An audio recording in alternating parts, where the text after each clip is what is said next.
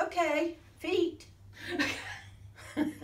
First of all, let's put the feet under the hips. Look at them. They lie to you. No rotation externally or internally. What, the, what would that look like?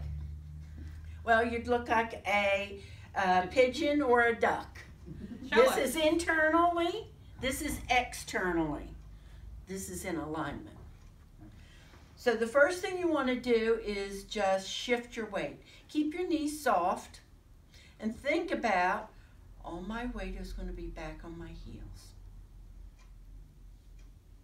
And then shift your weight. All my weight is on the balls under my toes. Back to the heels.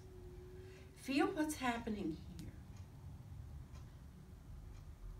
Up to the balls under the toes. And come to center. When you shift your weight to the outside of the foot, feel what's happening up your leg and to your knees. Your knees really get tight. Now, shift your weight to the inside of the foot. Now, feel what happens to the knees. The knees also feel stressed. Shift your weight so that all of it is evenly distributed between the balls of the feet and the heels. Press just the big toe down. Relax.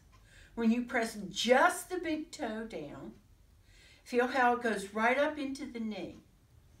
Relax.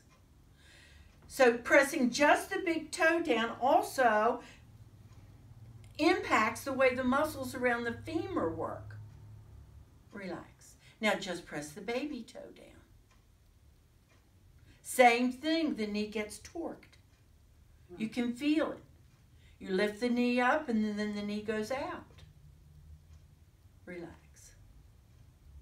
Lastly, what I want you to do is you cannot change um, the arch, but you can make it stronger so that it helps support the way your knees are.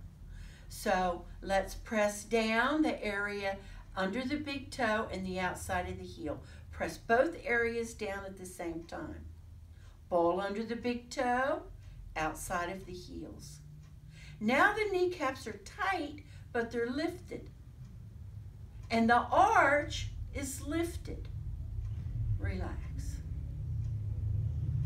This time when you press the ball under the big toe and the outside of the heel, feel how the butt tightens? The bottom of the belly gets tight. The thighs are working overtime. And this is your microwave activity for the week.